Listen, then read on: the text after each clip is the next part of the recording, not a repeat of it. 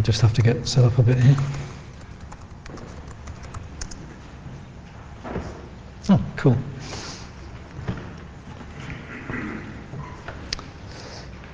All right, great. Um, so, I'm Simon. I work in the code search team at Facebook.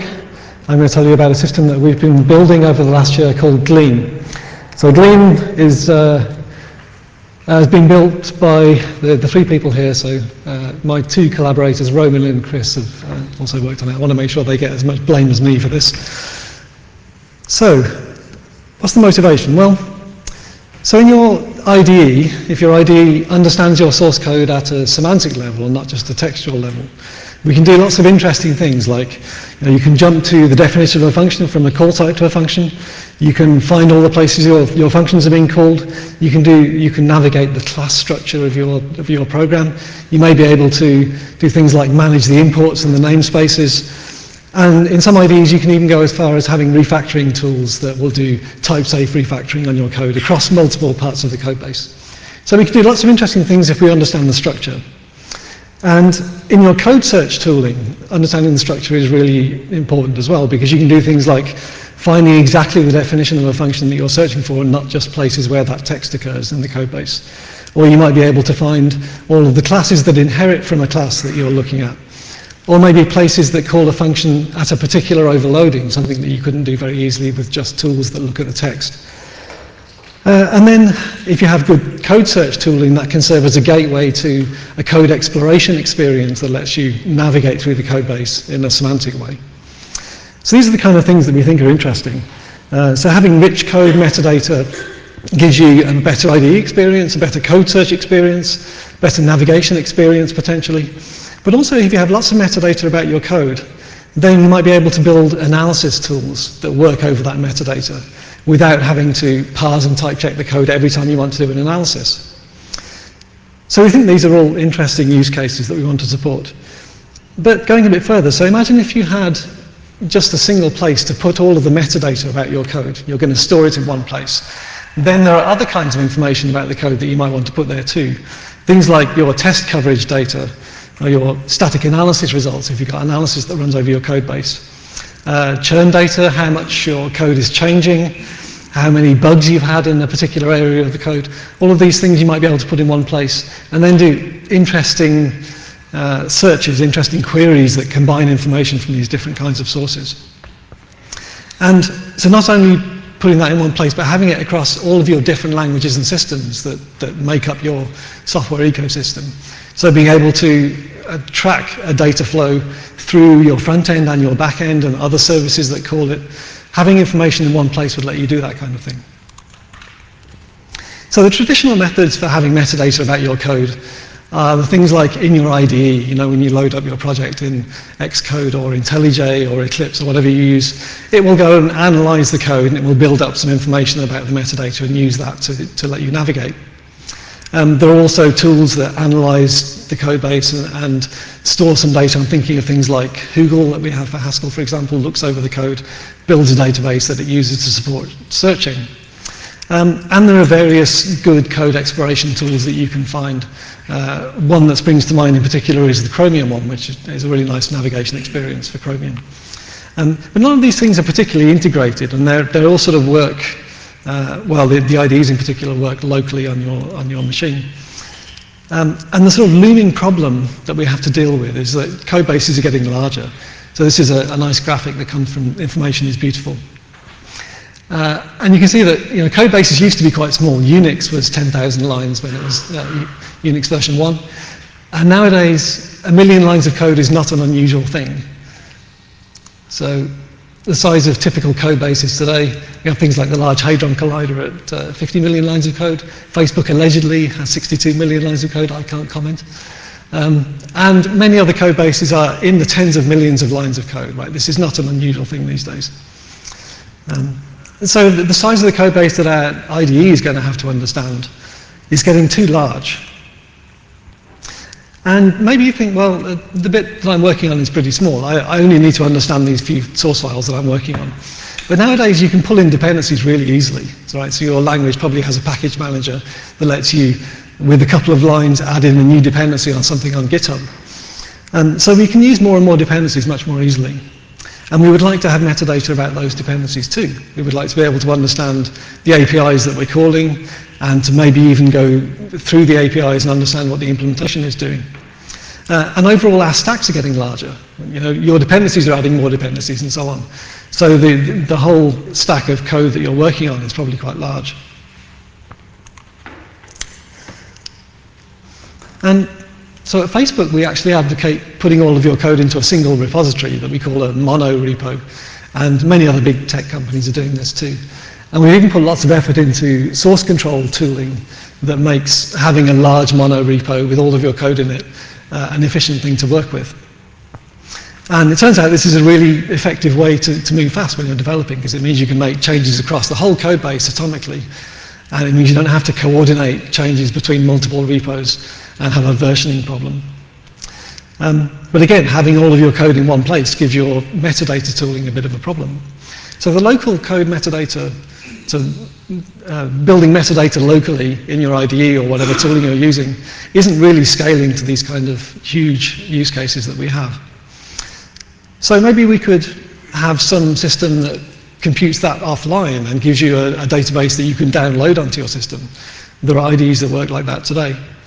Um, but it's still going to be big, and you need multiple versions of that database corresponding to every revision of the repository, right?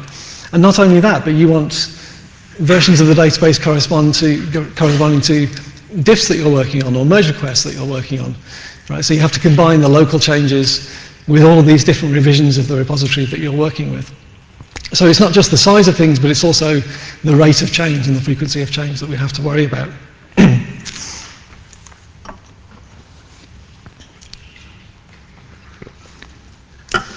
So this brings me to Glean, which is a system we are building which has the goal of eventually solving these problems. I'm not going to pretend that we've solved the problems at this point in time, but we think it's a, it's a promising approach. So I'm going to tell you about what we've done. So Glean is our system for collecting, deriving, storing, and querying facts about code. We started the project about a year ago. Uh, we are very much planning to open source it. Uh, we're not quite at that stage yet, but it's, um, it's definitely a goal we have, and we're being very careful about what dependencies we take on so that we can uh, ensure that we can open source it. Um, it's still very much work in progress. I'll tell you today about what we've done so far, but there will be lots of pieces that we haven't quite filled in yet. But we think it's uh, what we have so far and what we plan to open source it still has many useful use cases. So the, the sort of high level design of the system is this diagram here, which you're going to see lots of throughout this talk. Uh, so we have a code base on the right. This is the, the code that we're trying to understand. The system is going to deduce facts about the code, okay, where a fact can be whatever you like, you know, something you can deduce by looking at the source code. So it can be things like the location of declarations, it can be cross-references between call sites and, the, and the, the, definition they're calling, it can be types, it can be static analysis results, it can be anything you can deduce from the source code. And this data in the form of facts is going to be collected by Glean and stored in a database somewhere.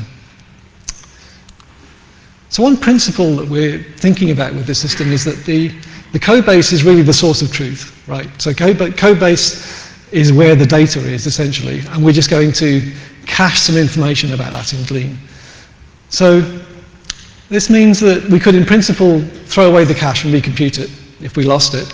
We can compute parts of it on demand if, uh, if there are parts that we know are expensive to compute or we know that we're only going to, to need them rarely, we might compute them on demand. Provided we have the source code, we can always go back and recompute those things. So another thing we realized when we started thinking about this was that we don't want to build front ends for all the languages we need to understand, right? So good front ends already exist in library form for many of the languages that we want to use. So for example, C++ has been uh, a big focus for us so far.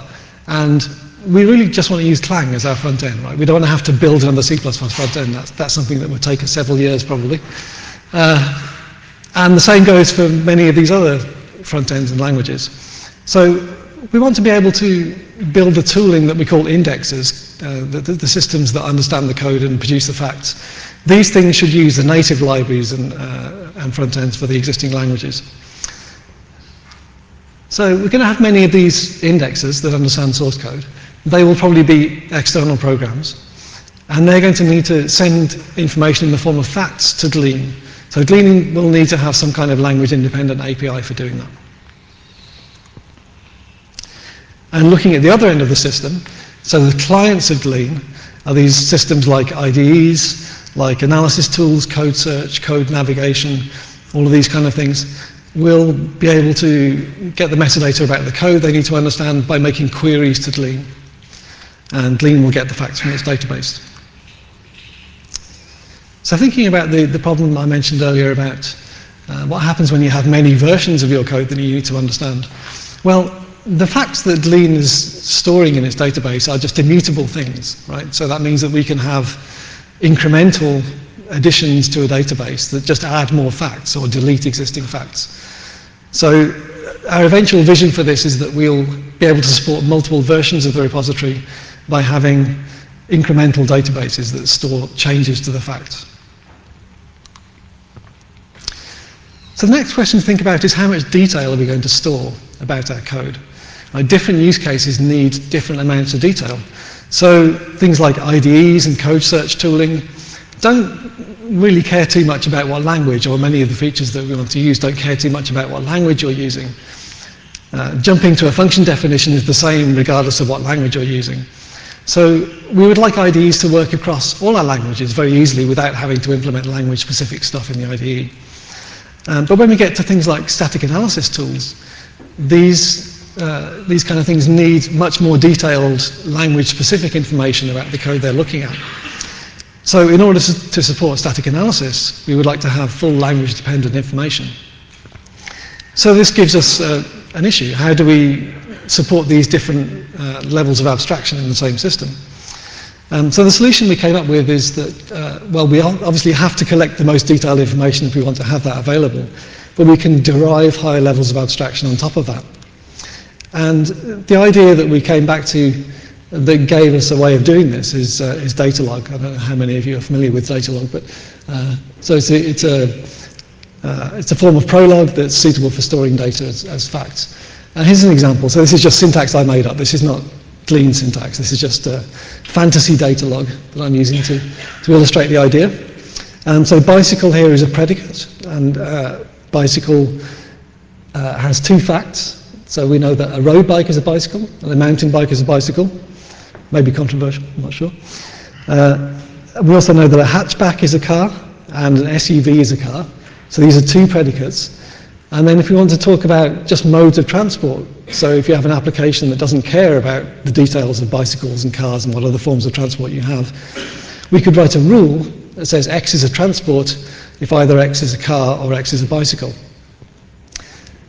So we have information here at two levels of detail. We have the most specific information about you know, the kinds of bicycle and the kinds of car, and we have a higher level abstraction for modes of transport that don't say anything about the particular kinds of transport that we have. And you could imagine using this idea for metadata about code. So suppose instead of bicycle we had C++ declaration, instead of car we had Java declaration. Then we could talk about declarations in general right, without talking about the details of what language we're talking about. So this is the basis of the idea behind Datalog. We think Datalog will give us uh, the ability to represent different levels of abstraction in our data. It's also going to let us represent complex data structures, which I'll talk about shortly, uh, with type safety. And because facts are immutable things, we're just adding data to the database. It will let us support incrementality too.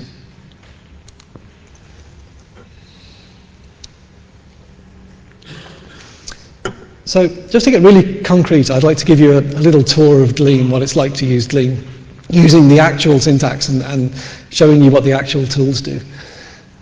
So in order to do that, I've made a little functional language that we're going to pretend that we're using and we're going to index this language in Glean.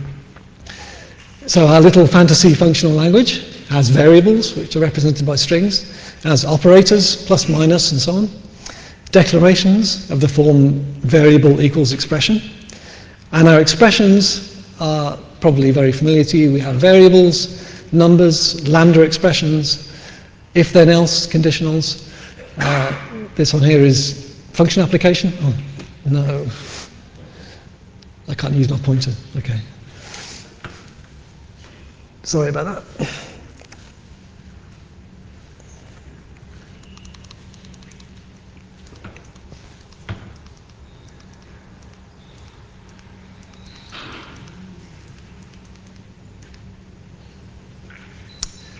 Okay, we have function application and infix operator application. So in order to put the data into Glean, we need to tell Glean what the schema of our data is. And the schema is represented by a set of predicates. So let's start with variables. So we define a predicate for a variable like this, and it has four components. So we're defining a predicate. It has the name, which we're going to call example.var. It has a version because we're going to support evolution of the types in our schema. I won't say much more about that. Um, probably the most important thing here is the, the type of data that we're going to store in the facts of example.var, which we call the key type. And here the type is just a string, so variables are represented by strings. And some documentation. So just to summarize, a schema is a set of predicates where you can think of a predicate as a type, just a, a type in your language. And a fact is an instance of that type. So some item of data that satisfies a predicate is what we call a fact.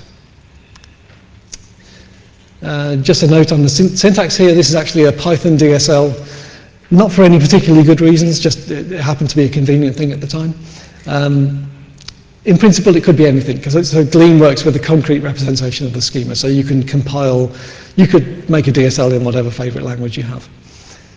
Uh, Okay, and let's look at some actual data. So we're using JSON here for the time being, uh, but this is a couple of facts of our predicate that we made, example.var. So we have two facts uh, saying that we have variables x and y. So the representation here is that uh, a fact is a JSON record with a, with a key field, and then the, the value of the key field is a thing of the type, uh, of the, the key type of the predicate, which here is a string. Okay? Why is it in JSON? Well, um, I'm going to tell you a bit more about that later, but uh, JSON is really just for experimenting and testing. It's so that we can have some concrete syntax that we can use to talk about facts and things. Uh, there is actually a much more efficient binary representation that we use for real applications.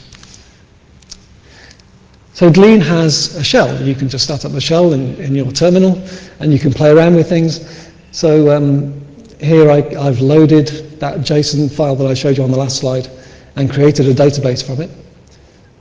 So now we can have a look at what's in our database with this stat command. And the stat command shows you for each of the different predicates how many facts do we have of that predicate and how many bytes are those taking up. So here we have two variables and it's taking up 66 bytes. We can do little queries in the shell. So this query is just uh, a query for all of the facts of the predicate example.var and it's showed us two facts there.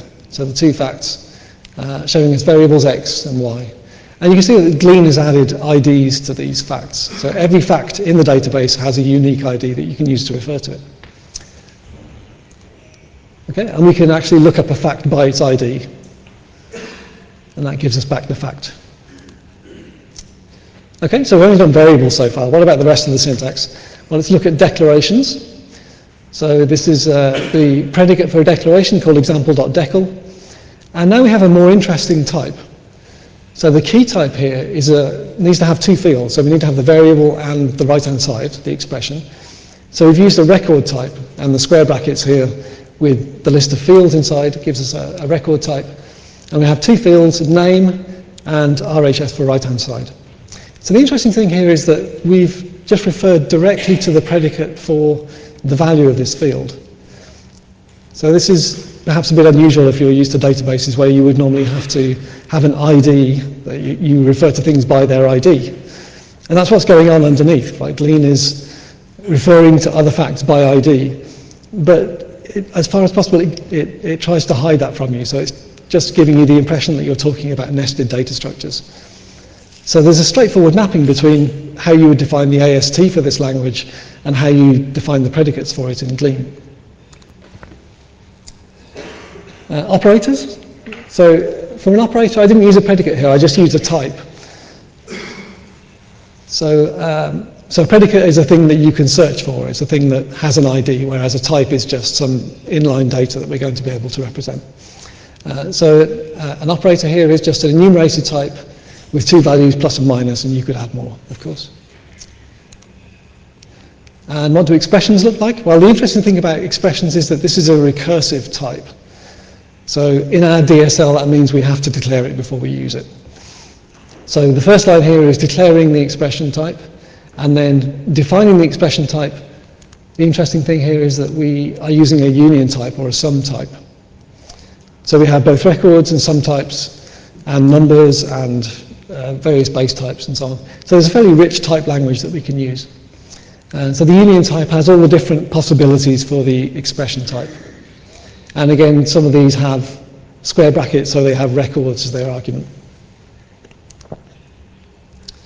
Okay, so just quickly, I'm not going to go into full detail here about how this is represented, but you could make the, the data that corresponds to the expression lambda_x.x and represent that in JSON over here uh, using the schema. So you can see here that we've got a fact of type expression, that's why it has a key, and then uh, it's a lambda with two fields, arg and body, and the rest of it represents the expression. Then we can load that into Glean and we can see what we've got. Well, we have two facts of the predicate expression, so that corresponds to the two sub-expressions that we have, a lambda and a variable. And we have one variable. Why do we have one variable? We actually had x in two places here, but what happens is that Glean will common up identical facts. So there's only one variable called x, as far as Glean is concerned. Okay, and then we can do some slightly more complicated queries. So here we can do a query for all of the expressions of the form lam, and this is giving back the one result for that sub-expression. So just to summarize what we got so far, so Glean is suitable for storing uh, nested data in the form of syntax trees, um, and it has this rich type language. So we have base types, we have records, we have union types, uh, we have enumerations and so on. And as you insert data into the database, Glean is going to type check that data and deduplicate any identical facts. But we use JSON. JSON is pretty horrible, right? But it, it's sort of this concrete syntax that uh, every, everything understands. You, can, you have lots of tooling that you can use with it. Um, but it's very large and slow to process, and it's not going to get us to our goal of being able to deal with this data at scale. And it's not very much fun to program with because you, it, there's no type safety. So what we really want here are some kind of types. So for, for writing programs that interact with Glean data, we would like to be able to use real native types in the language that we're programming with. Um, but we want to use many different languages. As I mentioned earlier, we're writing indexes in C++ and Python and Java and uh, using our native libraries. So we need to interact with Glean in many different languages. Uh, and we don't want to have to generate types. You know, we, we could do some code generation for every language, but uh, that would be a lot of work. So Instead, what we did is we uh, wrote a translator from the schema that you tell Glean about, so the definition of your types, into thrift types. And so for those of you who don't know what thrift is, thrift is this language-independent way of expressing types that you can then compile into native types in many different languages. So we generate thrift types just once. And you can see there's a fairly straightforward translation here. So for every fact, we generate a struct in thrift, thrift, which is going to have an ID and a key type. And the key type here is represented by another struct, just a straightforward mapping of the record that we defined in our predicate over to a record in thrift. Okay, that's the key corresponding to our record. And one interesting thing here is that we have an optional key type. So why is this optional? This corresponds to nullable or maybe or you know uh, whatever optional feature you have in your language. But why do we? Why does the key need to be optional? Well, if you think about the structures that we're trying to talk about here, we have some sort of nested structures in the database corresponding to the AST for our programming language. And we want to be able to, to talk about just parts of that structure. So you want to be able to do queries for particular kinds of expression and you probably don't want to pull the whole of the data you know, for that expression, you probably just want to look at part of it. So in order to be able to represent just part of a tree, we're going to need to have outgoing pointers which are null or maybe or nothing or, uh, or are not there for some reason. So that's why we have optional in all of the predicate types uh, in thrift. Okay, so now we have thrift types. So that's the thrift types on the left. What can we do? Well, we can generate from thrift, we can generate native Haskell types. These are the Haskell types that we would get from those thrift types. And we can do that for all the other languages that we want to use. So we can generate Python types and PHP types. Uh, and we get to talk about Glean data in a sort of native way in all the languages that we want to use. So going back to JSON, so we had this JSON syntax that I talked about earlier. Um, the JSON syntax was not invented, it just happens to be the serialization of those thrift types. So given some thrift data structure, you can serialize it using the thrift library. And then you will get some, you can serialize it into binary or JSON. Uh, and the JSON syntax we use is just the serialization of the thrift types. So there was nothing particularly magic about the JSON syntax that we, we invented. Um, and we have to have some concrete syntax, so that's why I've been using JSON. Perhaps in the future we'll have a more Datalog style, uh, perhaps a more concise concrete syntax, but this is the way things are for now. So let's see what it's like to actually write an indexer for our simple language. Uh, and as I mentioned, we want to build on an existing front end. So let's imagine that for this little language, we're writing a, we have a Haskell library uh, with a data type for its abstract syntax tree that looks like this. And we want to walk over the syntax for this, this language and generate facts in Glean for it. So this is how we would generate a fact for a variable. If we have a function index var, it takes a var, this is the internal abstract syntax, and it's, uh, there's a monad called fact builder, and fact builder is going to build a fact and return the type example.var. So the example.var is the thrift type that we generated from the, the glean schema.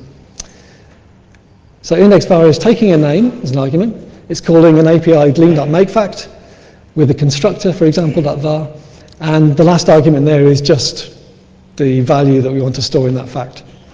So it's a very straightforward you know, translation of the, uh, of the AST, uh, and we walk over it and we call make fact to make all the facts.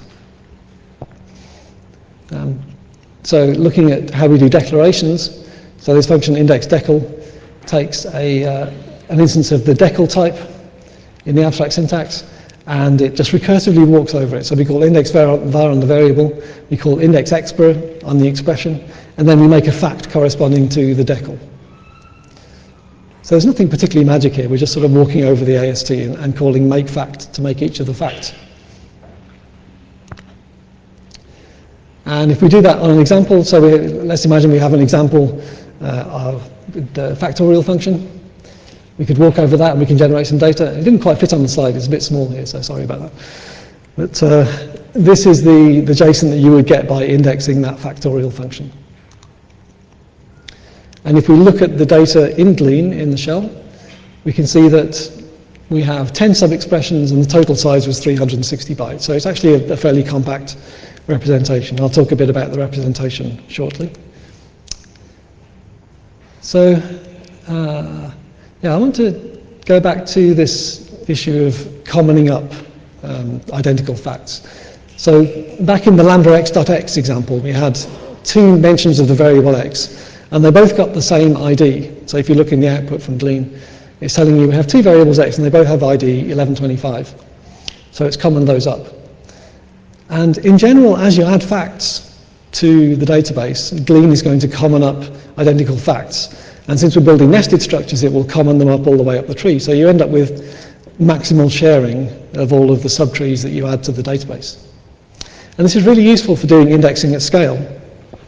So imagine we're trying to index our very large code base of, let's say, C++. Uh, and we want to parallelize this to make it as fast as possible. So we have multiple indexing processes that are all looking at different source files and putting the data into Glean. So parallelizing it. And they're sending nested data structures over to Glean. So now, imagine you're indexing a C++ file and it includes some header file that includes some other header file that has some declaration in it. So it's very likely that multiple of these indexer processes are going to discover the same declarations in the header files. So they're going to end up sending the same data over to Glean for the same facts. And this is where commoning up of that data is very useful because even when multiple indexer processes all discover the declaration of printf, say, in, the, in a header file somewhere, that will get commoned up in the, in the representation of the data in the database. And that's all very well, that works, that works fine. Um, but we would rather not send over all of the data every time for all of these repeated declarations. So a natural thing to do seems to be to try and cache some of that data in the indexer process. So we're going to cache some of the data that we've seen, and that means we can avoid sending over repeated trees back to Glean. But if we're caching data in all of the processes, they ha have to agree on what the IDs of those of that cache data is. Because when we send something to Glean, it might get commoned up with something, so we don't know the ID of it until we've actually inserted it into the database. So the way this works is that Glean is going to have to send back a substitution telling us what the IDs of those facts that we wanted to insert in the database are. And that way we can make sure that the caches stored on each of the indexes are in sync with each other. Uh, and they all have the same idea of what the, the IDs of these facts are.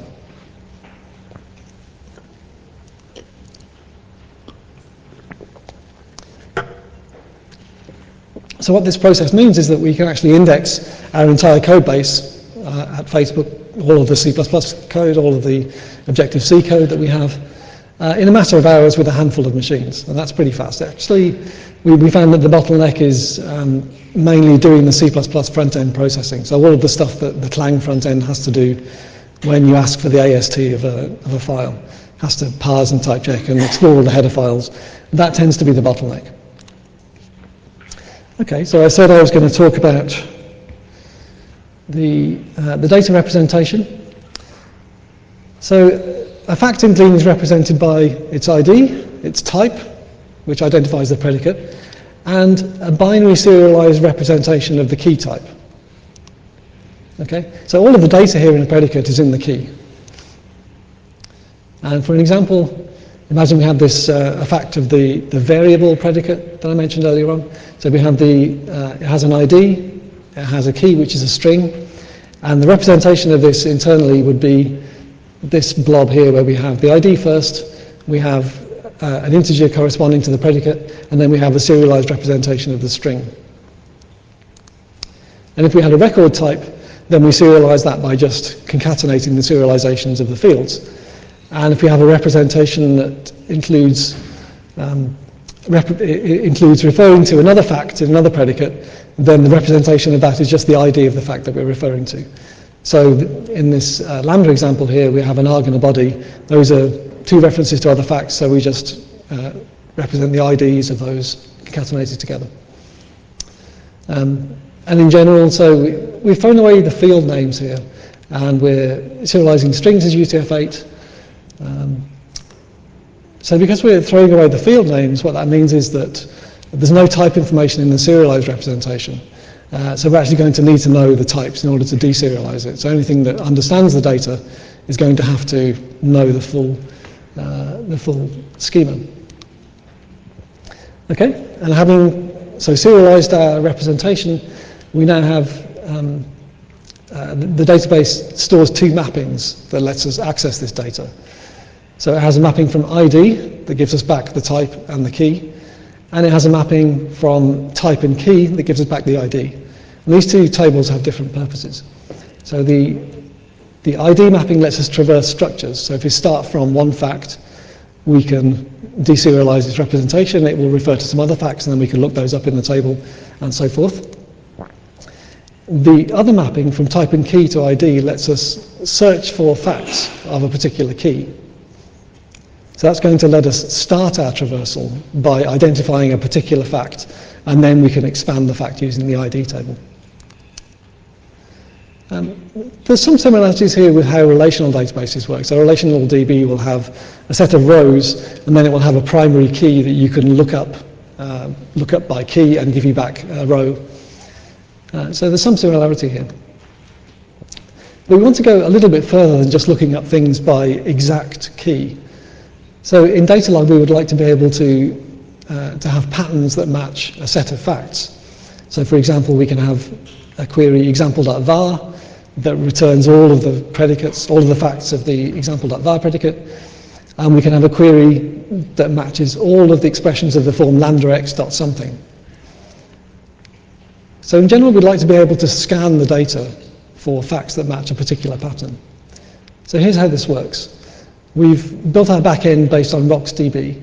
So RocksDB uh, lets you implement a mapping, and it represents that mapping as a tree, a trie. In our case, the trie is going to look a bit like this, where the first layer of the trie is the type of the, that the type being the predicate, and the second layer of the trie is going to be the first byte of the key. The second, uh, the next layer of the trie will be the second byte of the key, and so on, uh, all the way down. So what this representation means is that if we have uh, a pattern that has a known prefix, so for example, we want to search for facts of the form where the type is 1 and the first byte of the key is B, then that will give us a path through the trie, identifying all of the facts that have that prefix. And then we can return all of the facts within the key space underneath that point in the trie. So that works well. But if we don't know a prefix, if we only know a suffix, then the search that we would have to do for all those facts covers a much larger space within the trie. So if we only knew the suffix here, where the suffix is x, we would have to search everything underneath 1 in the trie for all of the facts that match that pattern. So this has implications for how we design our predicates because we can search very efficiently for things that have a prefix, uh, a prefix pattern, uh, and that means we want to put fields that we want to search for at the beginning of the predicate. So in our declaration predicate here we had a name and an RHS field. So that means we can search for declarations by name, but we can't very easily search for declarations by expression, because that would be a suffix. So imagine we wanted to search for all of the declarations in a particular file. A natural thing to do would be to add a file field to our predicate. So if we added the file field as the second field, that wouldn't let us be able to, uh, that wouldn't let us efficiently search for all of the declarations in a particular file because it wouldn't be a prefix. And we could flip those two fields around. We could put file first and name second, but then we couldn't search for declarations by name. So what's the solution to this? Well, we can define another predicate. Let's call it example um, by file, which has two fields, the file and it points to the declaration. So now, using this predicate, we can search for all the declarations in a particular file. And what have we done here?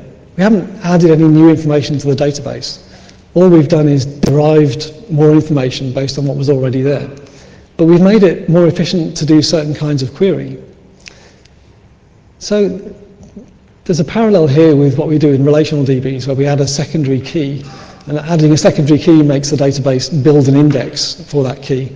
So here is, what we've done here is basically build an index for another key uh, that lets us find declarations for a particular file. Uh, and this is an instance of what we call a derived predicate. So it's just deriving more information. And in general, your Datalog lets you derive information uh, using rules for, um, uh, for any of the data in your database. So here's one other design uh, decision. So there are various design things that come up when you're trying to work with predicates. But here's another example. So on the left here we have the predicate that I just showed, which lets us find all the declarations for a file. On the right is another representation for that. So for a file we can get back an array of all the declarations in that file. So on the right there's only going to be one fact for each file, whereas on the left there's going to be many facts for each file. And there's a trade-off between these two different things. So on the right, there's lower storage overhead because we don't have a separate predicate with a separate ID for every mapping between file and decl.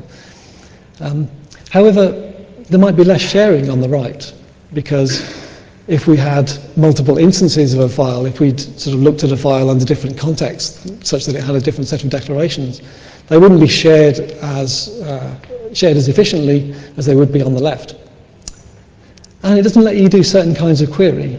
Right, so you can't say, is there a decl foo in the file bar.h? You can do that very easily with the, the version on the left, but not so easily with the version on the right.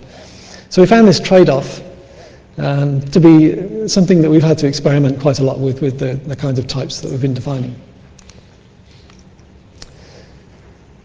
So I want to mention very quickly the applications that so far we're using Glean for at Facebook. So we have, um, have a code browser that lets you navigate C++ and Objective-C code and gives you hyperlinks, uh, lets you see all the references um, for a particular function and jump to where it's defined, which might be many places. Uh, we're supporting some IDE features. We're also looking at static analysis, in particular looking for dead code by analyzing the, just the offline Glean data that we have and writing analysis on that. So just to summarize, so we had Glean, which is this uh, storage engine and query engine for, um, for arbitrary data types. We're actually using it for, for code, but in general it's, it's suitable for storing any kind of nested data structures.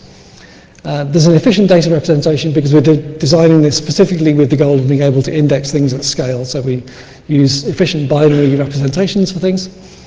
Um, the, the schema compiles into a type-safe API that you can use in many different languages. And we're already using that in at least three or four different languages.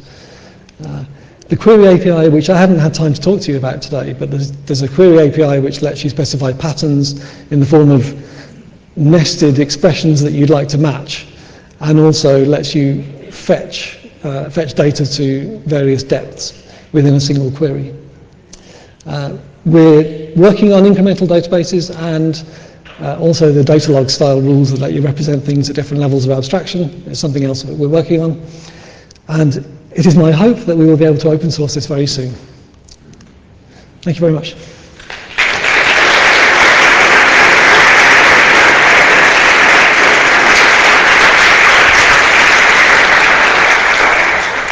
So we have some minutes for questions, um, and what we're going to do is, because this is being recorded, we can, if you can raise your hand, uh, we can run over to you with a microphone, and you can ask the question.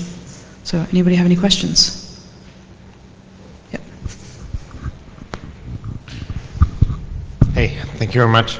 Um, so it, it, seems like a couple of the design decisions that you made have a severe influence on which queries will be supported efficiently rather than inefficiently. I mean, you've shown how you can add indexes manually. Another thing I wondered about is, since you do maximal sharing, that means you can't have parent pointers, right? You cannot identify the parent item in an AST.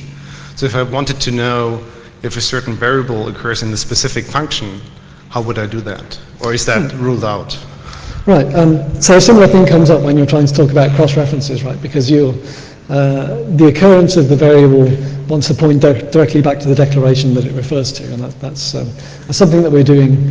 Um, but the way we're implementing it is that, uh, so you, you, first of all index all the data, so in, with, a, with the forward pointers, and then you can derive information from that data to give you the back pointers. Right? So Glean doesn't let you have cycles in the data, but what it does let you do is have predicates that have edges in both directions, if you like.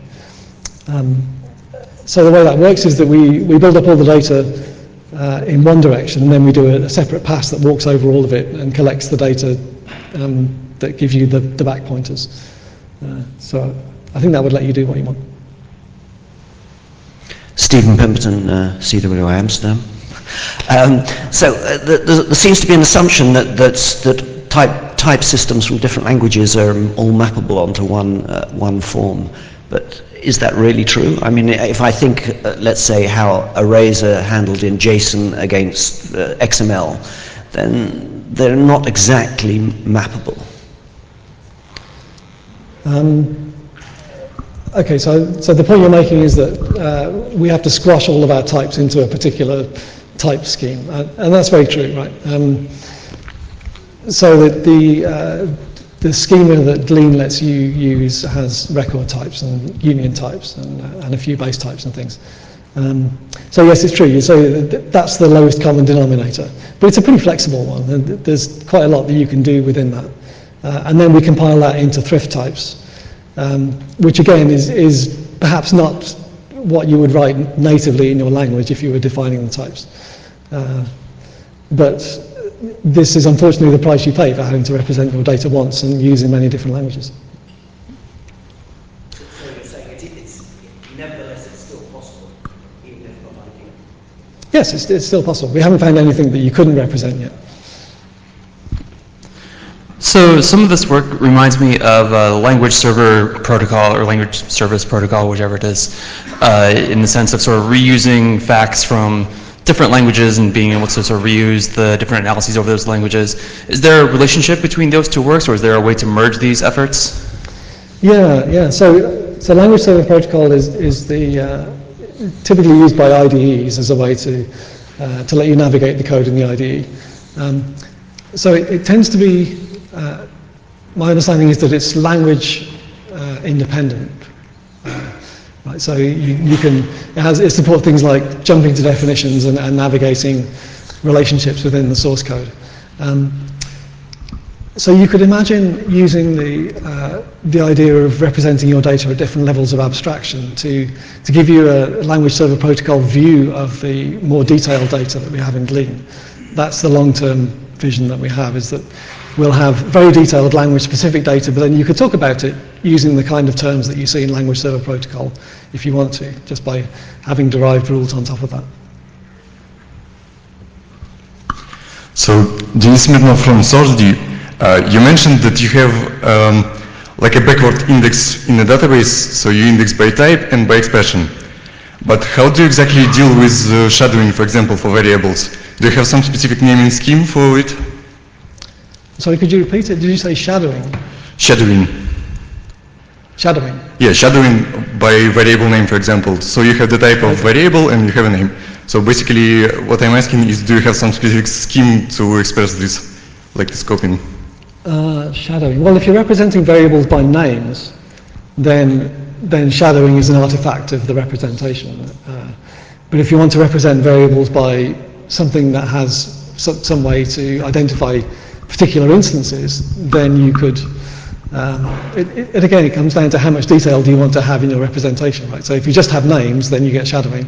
Uh, but you could also have a more detailed representation that let you have a, an, accurate, an accurate relationship between variable occurrences and the definition. Hi, Jeremy Gibbons. Uh, you showed us about uh, the indexing process sending uh, partial indices across to a server that get amalgamated there and then having to synchronize back with the amalgamated identifiers. That seems to me rather like a union find kind of problem. You could do it all on the server side. It could all be one way, and you'd have less synchronization to mess around with. Did you try that? Did that not work? Um, yes, there's a bit of a trade-off here. So uh, uh, you can tweak various variables, like how often do you want to send back the substitution from the server, uh, and uh, how, how big a cache do you want to have on the, the clients and so on. And you're right, I mean, you could go to one extreme and not have any cache at all, or you could uh, um, admittedly, we haven't played around with this, the variables very much to find out where the optimum is, but um, uh, yeah.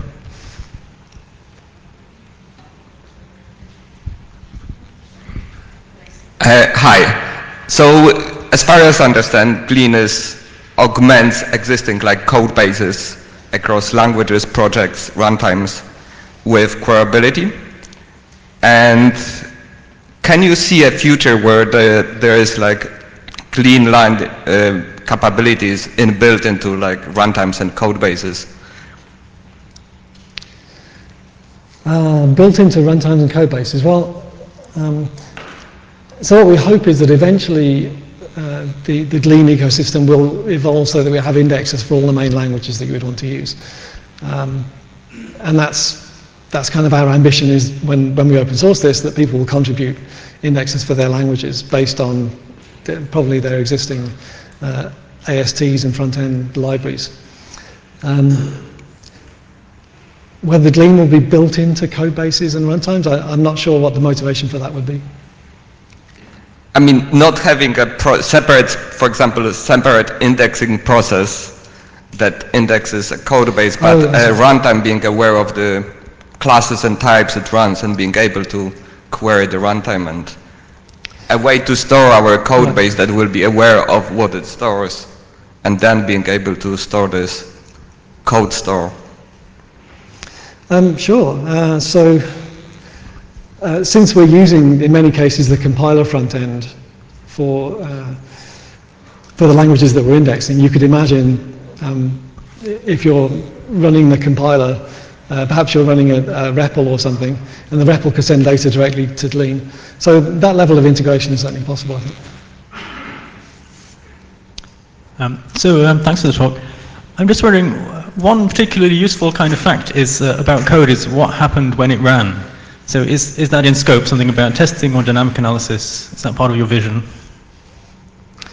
Um, yeah, so I, I, deliberately didn't talk about things that you, you, might want to store about the code that uh, that are not directly derived from the code itself, because so runtime can be non-deterministic. So you could imagine storing things like profiling results or uh, uh, you know any kind of uh, data that you can derive from when the program runs. Um, so these things are, are, are, not things that you can derive by looking at the code itself, right? You have to do more stuff. Uh, so in that sense, Glean would not be just a cache, it would be more of a, a data store.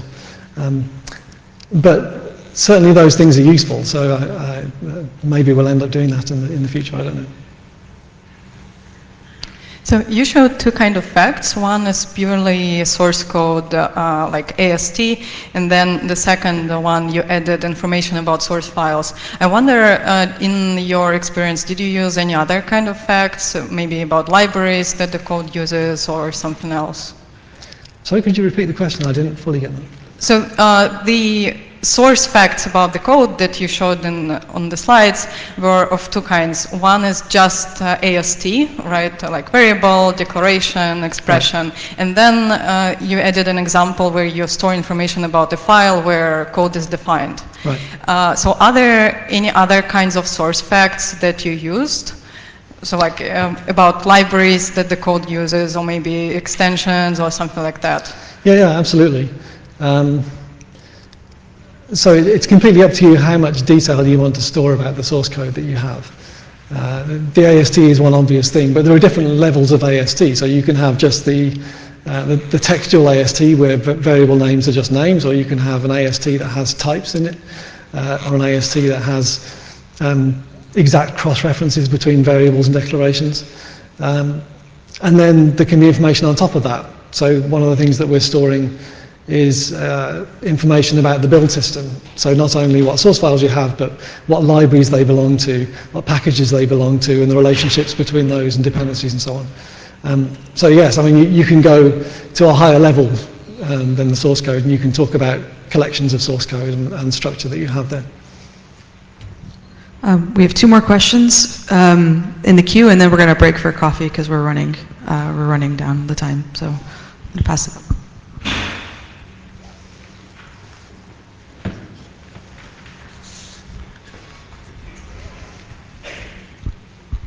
Hi, I'm Pedro Conte from Recruit Communications. Thanks for the talk. Uh, I'm interested about the incrementality aspect, incrementality aspect you talked about.